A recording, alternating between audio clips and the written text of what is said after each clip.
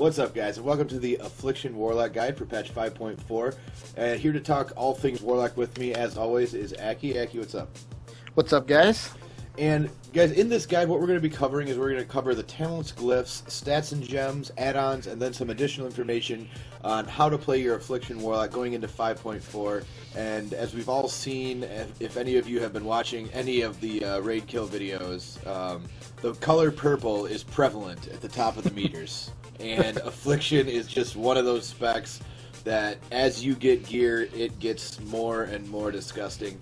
Um, Aki, let's you know what what really is setting affliction warlocks and just warlocks in general right now apart and like why are they in such a good place right now is it just gear scaling or what is it It's it's to do with gear scaling. It's kind of like mages and warriors, um, but not quite to the extent. Mages and warriors always scale really hard towards the end of the expansion when you start getting those really crazy stat percentages. You know, like high crit, high mastery, all that sort of thing.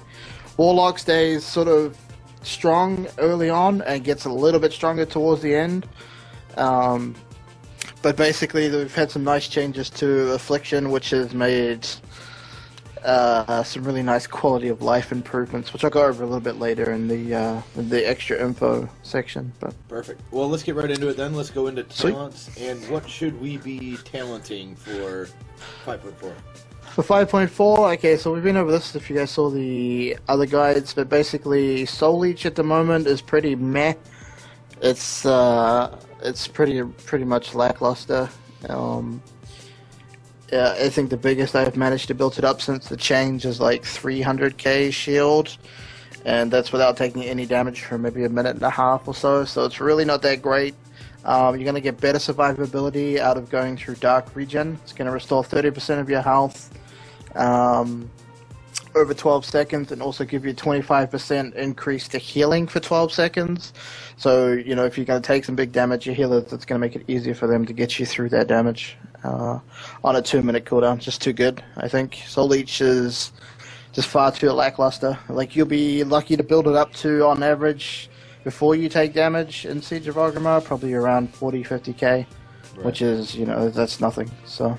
And then level 30 are we what are we using here Level 30, uh, it's really diverse now, so you can use any of them, which you find it, it's really situational depending on what encounter you're doing.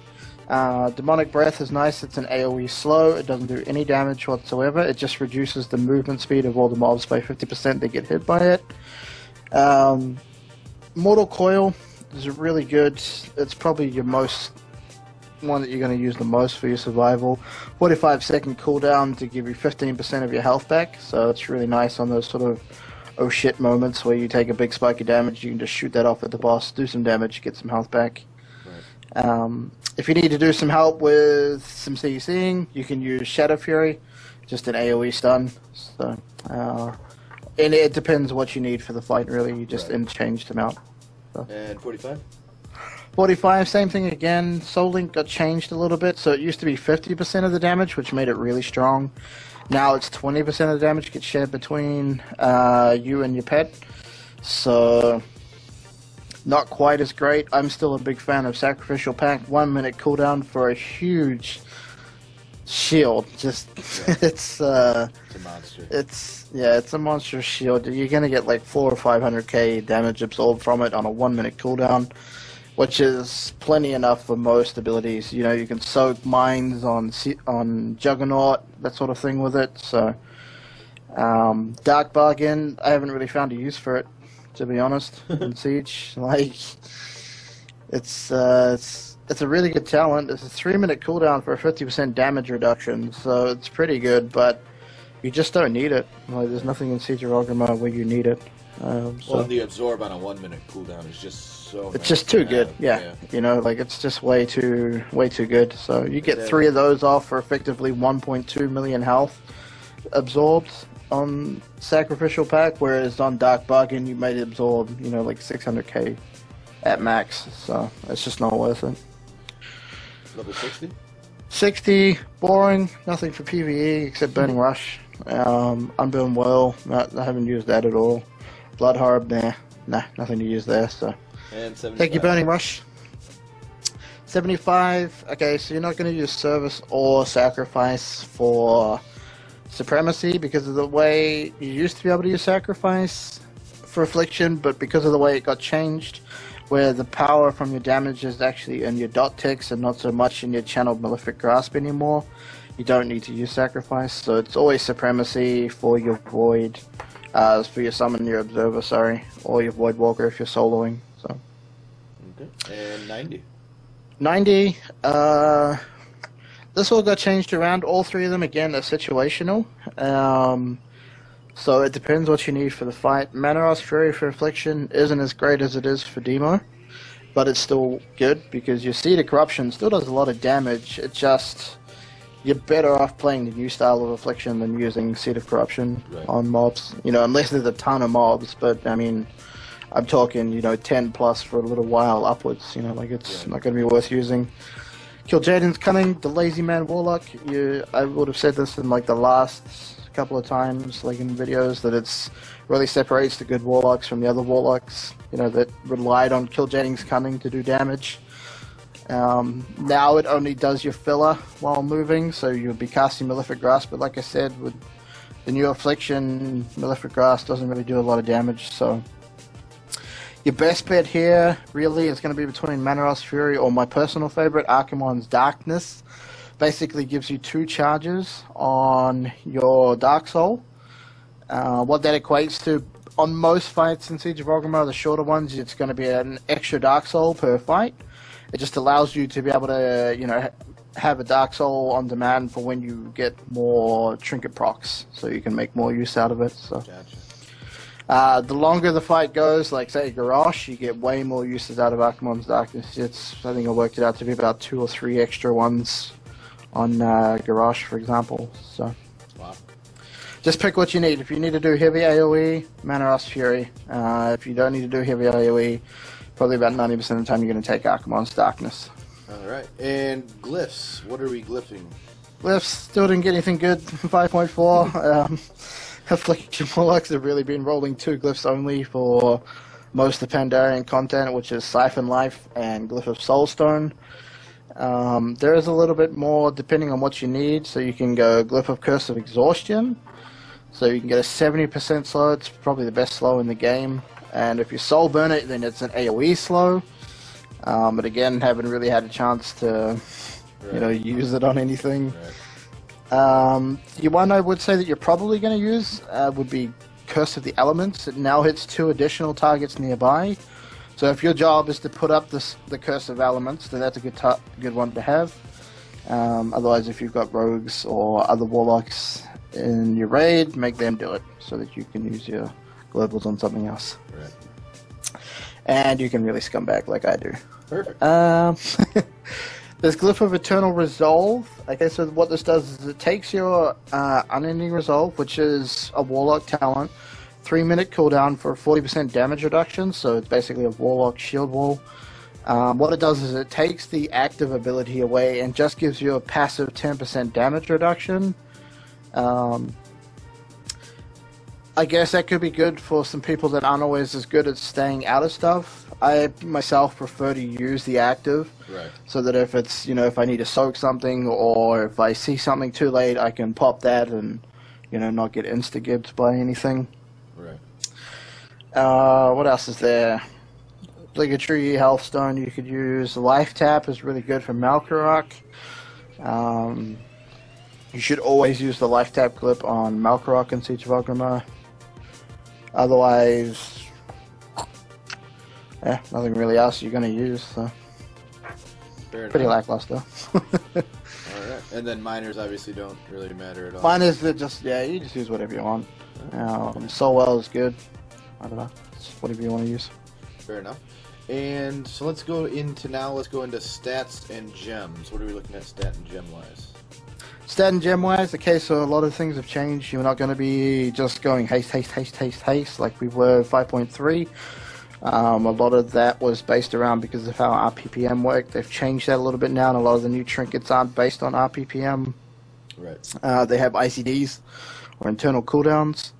so the haste isn't going to be as effective. I would say for the majority of you guys out there, you're going to look to stick at the 9778 haste breakpoint, and then just stack mastery on top of that. Okay, so 9778 for your haste, and then just stack mastery on top of that. Um, obviously, you want to get hit capped, and you know, so. Uh, but yeah, basically, mastery is your strongest stat at the moment, so it's giving you extra damage on the dot ticks. So Gotcha. go for mastery.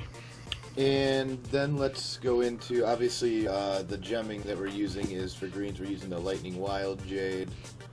Um, No, No. we changed that around a little bit. So this is because the mastery change, you're going to be using mastery hybrids in your gems now. So for blue slash green gems, you want to be going for what's the Sensei uh, Wild Jade, which is the hit mastery instead of hit haste, basically. Um, yellow sockets, you're going to be using Fractured. And red sockets, you're going to be using the Artful Vermilion Onyx, which is the Int Master gem. So Okay. those are the ones you want. Now, what if you're not at your haste breakpoint that you're talking about? Then would you I- would your first goal be to hit that breakpoint? Yeah, you want to get that go haste haste. breakpoint first. Or then yeah, go because mastery? that Yeah.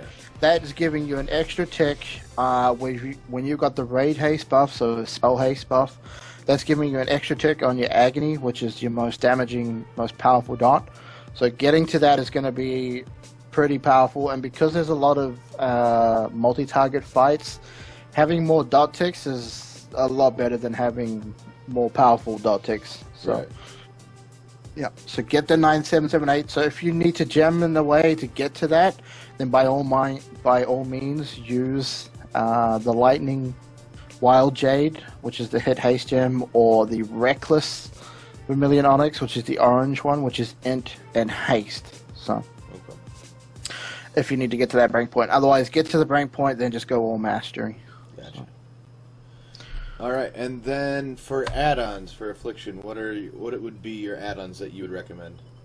add-ons you need something to track your buffs it's very important that you get something that tracks the procs that you get so something like tell me when which i believe you've made a guide on how to Yep. use already yep. Yep. so if you just go and have a look through some of nash's old videos you'll see guides there on how to set up the tell me when um, and the other other important thing you're going to need is AFDOTS add-on, which I've talked about in some of the other guides.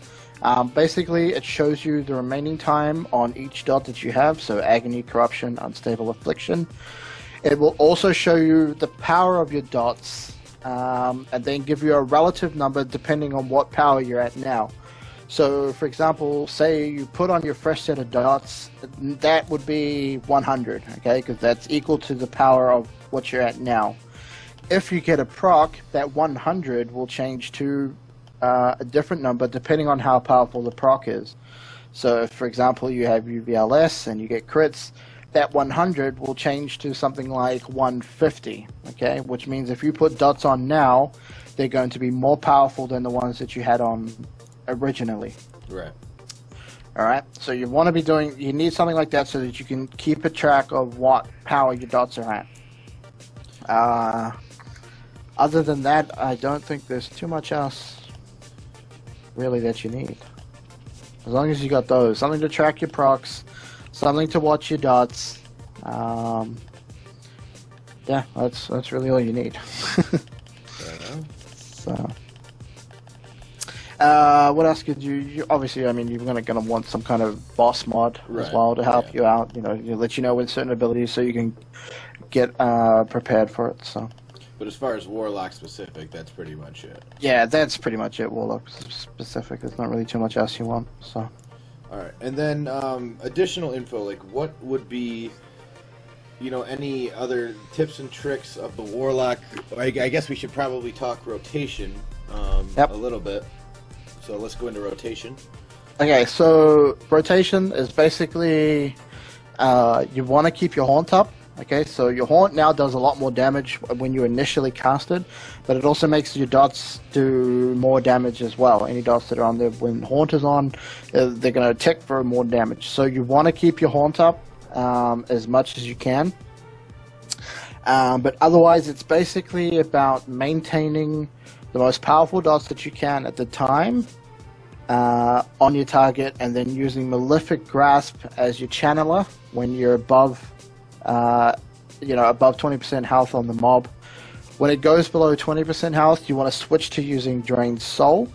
It does a little bit more damage. It's I don't really want to get into it because I really don't like using Drained Soul and Malefic Grasp but they do about the same amount of damage. Um, however, drain soul every every two times that it takes dam- it does damage, it's going to give you a soul shard back, so that you can, you know, when you're in that execute phase, you can practically keep haunt up on hundred percent. So.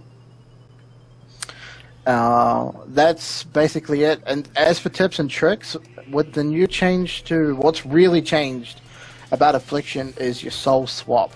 Okay, so this is going to get a little bit tricky to explain, but Soul Swap by itself without using Soul Burn will make a copy of the dots and you will store them for three seconds. So you have three seconds to use your Soul Swap again onto another target.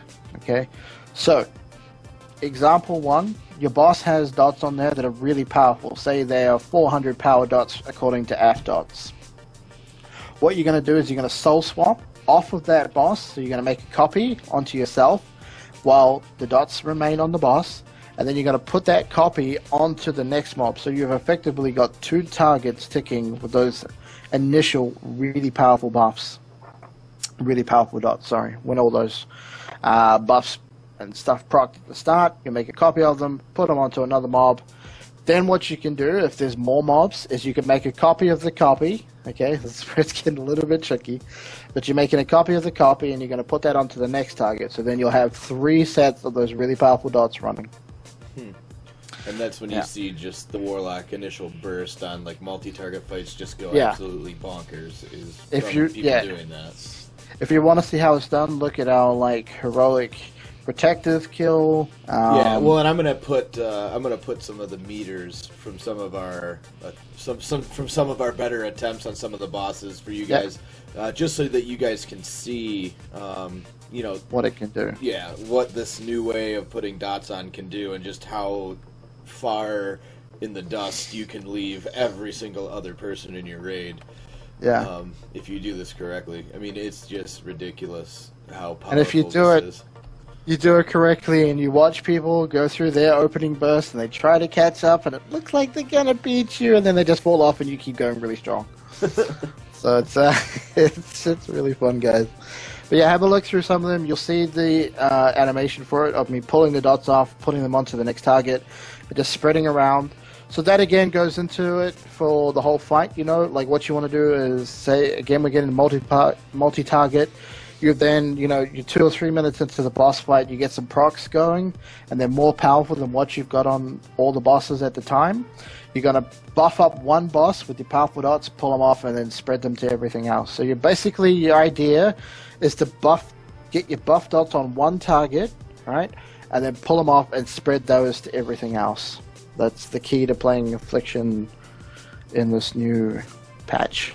Okay. And uh, guys, again, if there's any questions that you have about the uh, the Tell Me When add-ons or any of the UI add-ons um, that we use, typically me and Aki pretty much use the same ones for practically everything. Yeah. Um, we do have there is an entire playlist for all the uh, UI stuff.